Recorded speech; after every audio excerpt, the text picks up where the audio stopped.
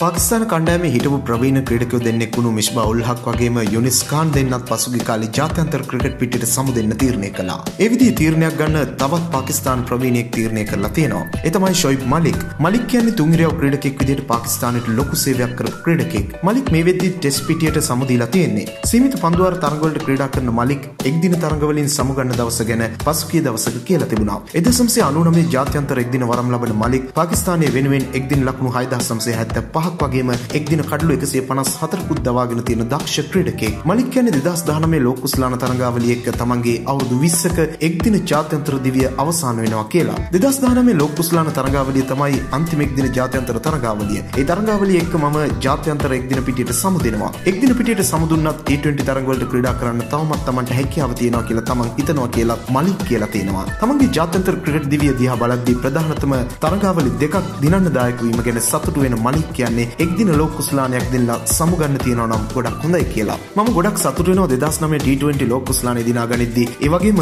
2017 champion කුස්ලානේ දිනා ගනිද්දී පාකිස්තානය වෙනුවෙන් මගේ යුතුයකම කරන්න පුළුවන් වුණ එක ගැන. ඒ වගේම 2019 ලෝක කුස්ලානේ දිනාගෙනම සමුගන්න ලැබෙනවා නම් ඒක ජීවිතයේ විශේෂ අවස්ථාවක් වෙයි. ඉන්දියාවේ ටෙනිස් සූරියක් වෙන සානියා මිර්සා එක්ක විවාහ වෙලා ඉන්න මලික් කියන්නේ සමුගත්තට පස්සේ තමන්ගේ වෙලාව පවුලේ අය වෙනුවෙන් වැය කරන්න අදහස් කරගෙන ඉන්නවා කියලා. දිනපතා මෙවැනි වීඩියෝ බලන්න අපත් සමග එකතු වන්න. ඔබ තවමත් අපේ channel එක එකත් එක් එකතු වෙලා නැත්නම් වීඩියෝට පහළ තියෙන subscribe button එක ක්ලික් කරලා අපිව subscribe කරන්නත් ක්‍රිකට් වලට කැමති ඔබේ යාළුවෙකුට බලන්න වීඩියෝ එක share කරන්නත් අමතක කරන්න එපා. ක්‍රිකට් පිටියේ නැවුම් තොරතුරු සමගින් තවත් අලුත් වීඩියෝකින් හමු වනතුරු ක්‍රිකට් ලංකාවෙතින් ඔයාට සුබ දවසක්.